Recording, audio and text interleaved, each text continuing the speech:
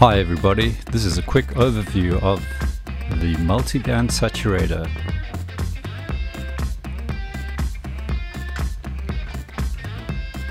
We'll start by putting a bit of saturation on the lead guitar.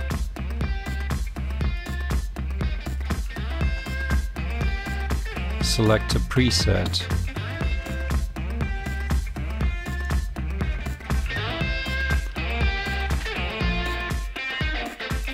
From here it's easy enough just to adjust the bands by dragging the crossover.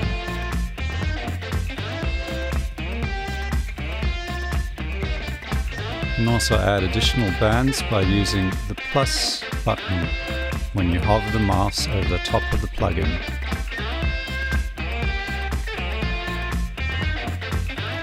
You can remove a band by clicking on the X button.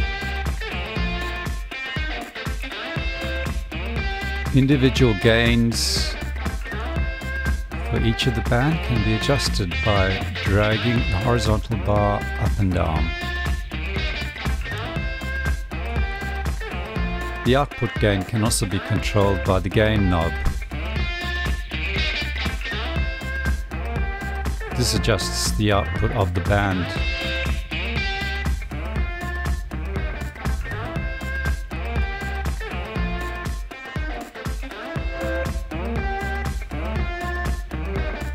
High pass and low pass filters can be engaged for a band.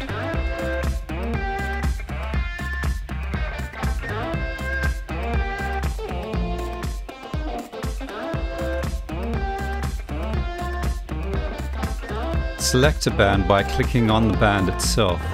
It will highlight in a purple fade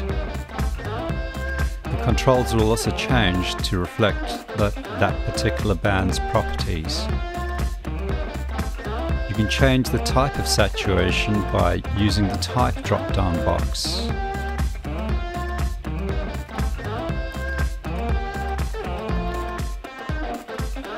The level of the saturation can be adjusted by using the level knob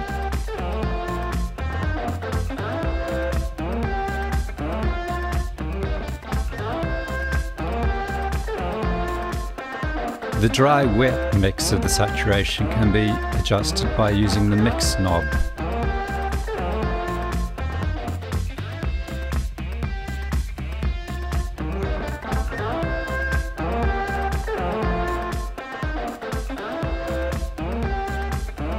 The oversampling drop-down can be used to change the oversampling up to a scale factor of 16.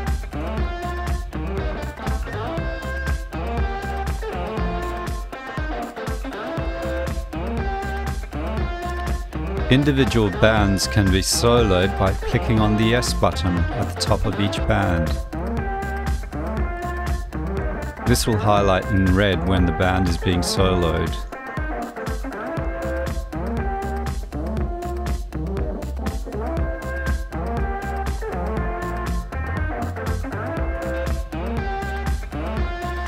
Additionally, the saturation on each band can be activated or deactivated by clicking on the A button.